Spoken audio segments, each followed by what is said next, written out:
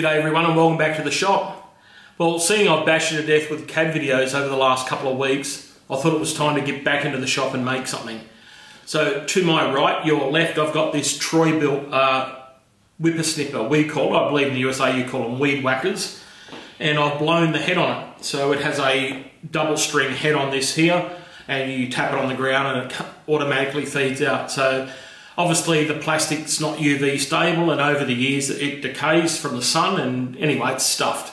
So I went and bought a replacement head and this replacement head here called Sabre out. I bought it from my local hardware shop. I believe it's made in the USA and before I bought it I made sure I checked to see that it fit the Troy Bilt uh, weed whacker and it says here it fits 90%. Well, guess what? I'm in the 10% it doesn't fit. So, what I need to do here today. Luckily for me, they have these little spaces here uh, that you insert and you can change them depending on the thread that fits the head. Now, would you believe it? They've given me every one, but they're all left-hand thread. My weed whacker is a right-hand thread so it won't fit. So today I'm going to have to go and machine one of these spaces. So it's round hex, got a groove in it with a 3.8 UNF 28 uh, TPI thread in it. All right, so luckily I've got a little bit of scrap and um, hopefully I'll get it out of that. Now today it's quite simple work really, uh, parallel turning, facing drilling, uh, tapping. There won't be any boring apart from me doing the video, which will probably be boring. Um, then I'll need to do some simple indexing. Now for the indexing, I could put my indexing head on the um, on the milling machine, frig around tramming it in, but you know what? Um, I think for this one here, I'll keep this a little bit longer and I'll use my um, hex collet block and put a 19mm to 20mm collet because this is 3 quarters of an inch and clamp up on it and just hit the hex on all six sides.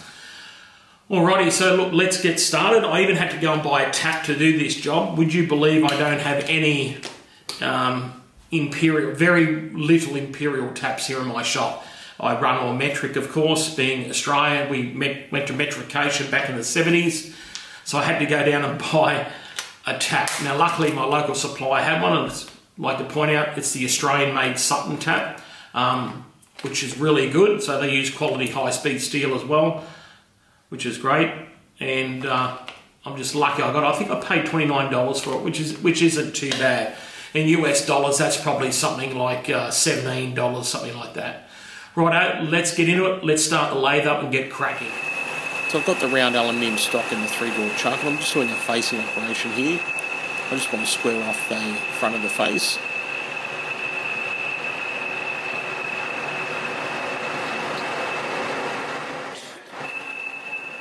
And here we go with some just straight out parallel turning and what I'm doing here is just reducing the outside diameter and bringing it down to size.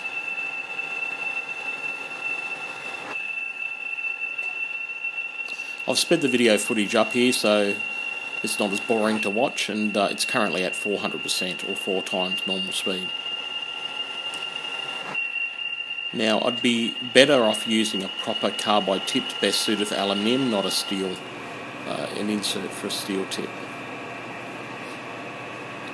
So what I'm checking here is just checking my outside diameter. I'm shooting for about 22 millimeters, and the reason I was shooting for 22 is because I need to form the hex.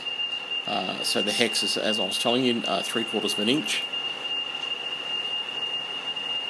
this is the finishing cut to bring it down to 22.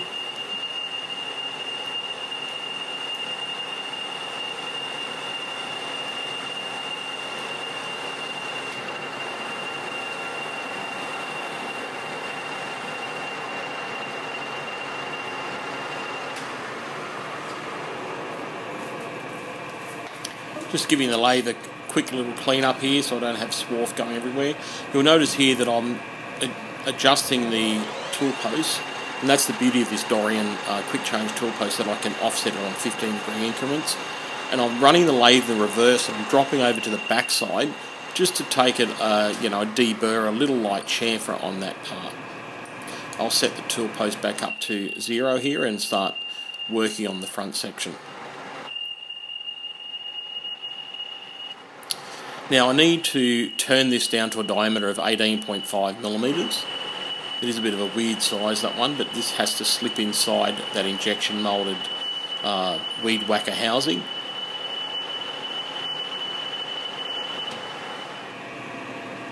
And what I'm doing here is comparing the original part, which is 18.45. Now, they give you four of these, and not one of them was consistent. It was anywhere between 8.4 to 8.5, 18, sorry, 18.4 to 18.5. And you can see here now with my micrometer, I'm right on the money. Now keep in mind that's a cheap micrometer, it's not a Mitutoyo. Just coming in here now with a parting blade, I just want to put that little groove in, and that groove, uh, what that does, that captures it and retains it once you push it inside the housing. Just giving it a lick with my old uh, Wiltshire lathe file, and just getting rid of that blue mark off there you'll notice that, yeah, be very careful using a rag around a lathe. You don't want to wrap it around your finger and pull your finger off. Popping in here with a little Sutton centre drill and just picking up on the centre. I'll change out now to a, I think it was 8.5 millimetre was the tapping size for this, a drilling size for this um, 3824 tap from memory. Now I need to drill that all the way through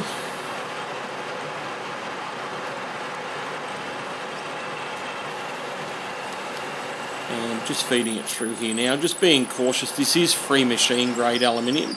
You'll notice that it's not very buttery and it's actually uh, coming out in nice little chips, which is good. So it's not actually welding itself to the drill bit.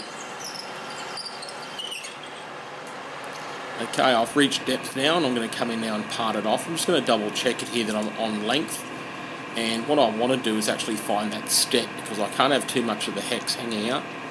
I will have to face down the end of the uh, material later. So just dropping in here now with my ISCAR parting blade and parting that off.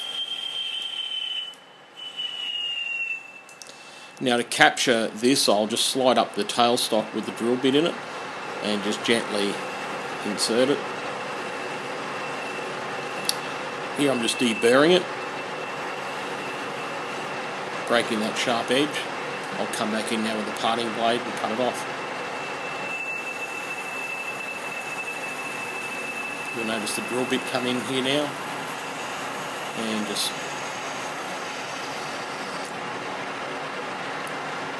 capture it like that, save it falling down into the machine. Okay, so what I've done, I've used CAD here to work out um, the size I need. So you'll see that my cutting tool is 12, so I've added it, divided by 2, and from the center offset I need to be at 15.25.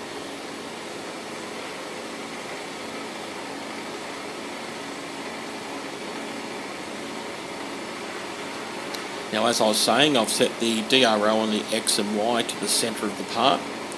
So that will be my origin. And what I'm just going to come through, just concentrate on one side and just wind it forward and back. You'll watch the DRO in the Y. It's at 16, it will drop down to 15. I'm just taking a look at it. I don't want to be too savage on it. It's, um, like I said, it's only aluminium. I could have just taken it in one cut, but I didn't want to run the risk of ejecting the part from the uh, collet block or, or having some other sort of failure. I'll speed this up now. I'll index the collet block around um, 60 degrees at a time. Like I said, I could have put this in the dividing head, but why bother? It's simple indexing. Just use a six-sided collet block, or the ER32 19mm collet, 19 to 20mm collet, I should say. And I'm really happy I put the DRO on the mill. It's uh, definitely made this machine more user friendly, that's for sure. Righto, here we have the finished part. And just wanted to show you that I've got a three quarter of an inch spanner and it fits on there bloody beautiful. I'm happy with that. Here's the original just to show you and the original was a little bit looser than my one. So back into the lathe here and I'm just holding it by the uh, hexagon collet block Using a bit of hang surface uh, tap here, this tap magic stuff, it's pretty good. And just a slow RPM and just let it feed the tailstock in, uh, slide it in under its own control, and then wind it out. I had to hold the chuck on this, otherwise it wants to undo the keyless chuck. Righto, so what I'm doing here now, I'm parting off the end. I've I wanted to make sure I had more hanging out so I could grab it. Once again, chamfering on the backside with the lathe in reverse. Just giving it a little tickle with my lathe file. And that is actually a lathe file. I know I've said that before in a previous video, so that's a single cut lathe file. Very fine. And I've had that for probably over 20 something years, probably 25 years. And there's my finished part just like I bought one. So in we go. Popped it into the housing. I'm just going to give it one good old whack with a hammer and you can see it engage and clip into that little groove that I made. And bloody happy with that. So now it's time to screw it onto the weed whacker. Now what I'm doing here, I'm putting some, I left my anti-seize at work, I took it to work to uh, put in pull studs, so I've just got some molybdenum and grease there and just ran it on the shaft. I'm using the original washer that came off it.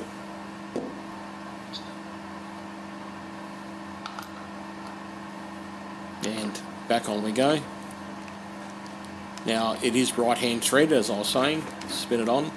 Now the biggest problem you have is being able to hold the shaft to stop it from spinning. So there is a little hole in the side that you can put in a Allen key or a, a drift or some sort of pin punch and I just gently tighten that up by hand. I didn't want to go too crazy on it. I wasn't going to strip it and back it off half a turn. Had a bit of trouble getting this string back in here, but finally got it in and wound it up. Righto, let's test it guys. So we'll go out to my backyard. I've only got a little small backyard. Um, of course, I had to get the dog curving camera, didn't I? And the path there that I should have picked up before I filmed. But anyway, lucky I didn't step in it. So the old weed whacker around the clothesline.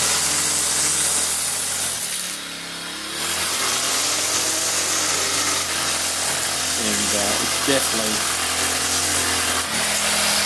good thing now that that weed whacker back up and running. I can name the well, ladies and gentlemen, that's all I've got for you today. Um, I hope you enjoyed that little bit of machining. Uh, like I said, it wasn't a very big job. It was one of those uh, necessary jobs that I had to do to get it out of the way. So next week, hopefully, or the week after, um, I should have should have received the brass for this little job. So I'm waiting for it to turn. I said it was going to turn up today, but it hasn't. So I'll knock that job out of the way, and then I want to get onto that parallel clamp set that Doug Gray sent me. So what I'm trying to do is get together a, a, compilation of videos and have them in the can ready to be released every week. And that takes the pressure off me at work and I can concentrate on my job. So anyway, that's it. Thank you once again and uh, look forward to seeing you next time on the Aaron Engineering channel. Thank you. Bye for now.